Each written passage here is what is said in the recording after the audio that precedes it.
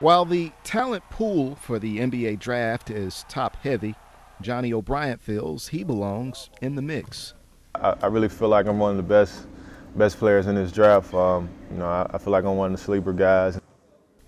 However, it's the uncertainty of the draft that keeps Johnny and his agent, Gerald Collier, on the edge. You know, it's hard to predict where you're going to go. Um, we, we, we think Johnny's a first rounder, but um, he, he could, you know, he, there's a range. But you never know until the day of the draft. And uh, I think as we get closer to the draft, um, we may have a better feel for where, where he's going to go.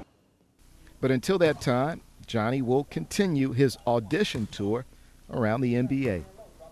I don't know, it just seems surreal sometimes to be able to travel and, you know, be in the NBA, you know, gyms. And you know, I think um, when I was working out with the Rockets this past uh, this past week, you know, Dwight Howard and James Harden was in the you know in the gym watching the workout, and it was just like, you know, hey, I'm I'm finna, I'm finna really be you know there, maybe playing against them in a minute, you know, so it was just you know those type of moments where you know it just make everything seem surreal.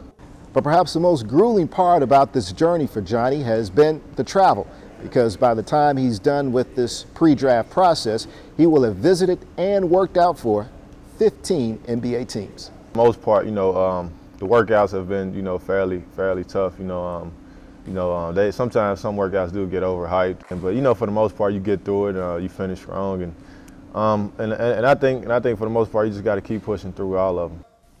All while pushing towards life's new chapter, a chapter he says if he could pen would turn out like this you know, get drafted by a team that, you know, really likes me, you know, have a lot of confidence in me and, you know, work hard as I can, you know, have a, have a long career, you know, you know, whether that's being a, being an all-star, being a role player, you know, just try to maximize my talent.